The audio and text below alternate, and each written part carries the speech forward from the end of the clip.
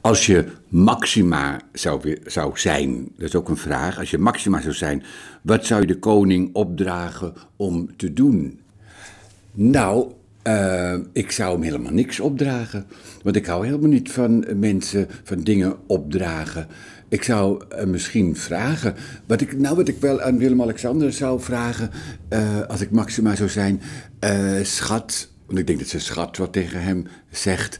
eh, zou heb je geen zin om een boek te schrijven? En Dat lijkt me wel leuk als Willem-Alexander een boek schrijft, heel openhartig, over zijn jeugd en over hoe hij het koningschap ervaart, hoe hij eh, Koningsdag ervaart, of wat hij als verplichting ziet en wat hij echt vol liefde en overtuiging doet.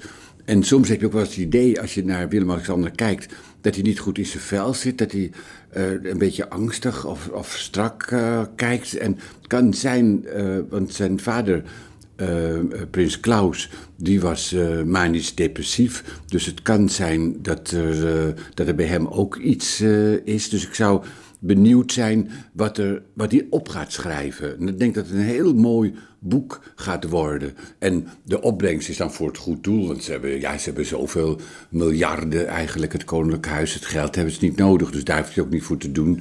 Het zou alleen eh, hij zou het alleen doen om het maxima, omdat zijn vrouw dat gevraagd heeft. Ah, zou je dat eh, willen doen? Dat lijkt me wel heel leuk als eh, Willem-Alexander met een boek komt. En misschien de titel, eh, ja, hij mag gewoon de titel. Ik heb bekend, mag je gewoon eh, ook, eh, dat lijkt me een goede titel, ook voor hem ook. Ik heb bekend.